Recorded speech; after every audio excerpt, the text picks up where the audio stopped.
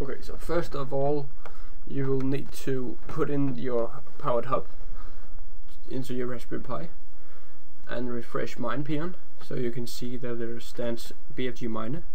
Now we know the miner is running.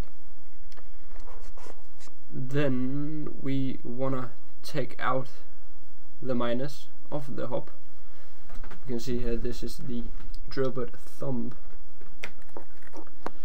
and Blue Fury. And the first is a Red Fury. So put them back in. Refresh again.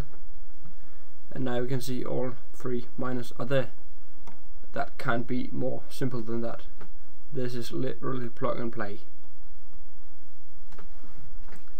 Um, and I think that's about it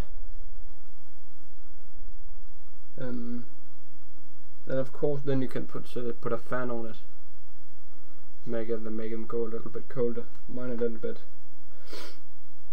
This also helps the hardware error rate fall down very very much because yeah it just does. So um, that's it. That's the five that, that's the fifth installment that's sorry the fourth installment of this video. So now I have shown you the complete road from a Pi to a miner. Um, and that's it. Thank you for watching and please leave a like and a comment and a favorite and tell your friends because this does really support and help the channel.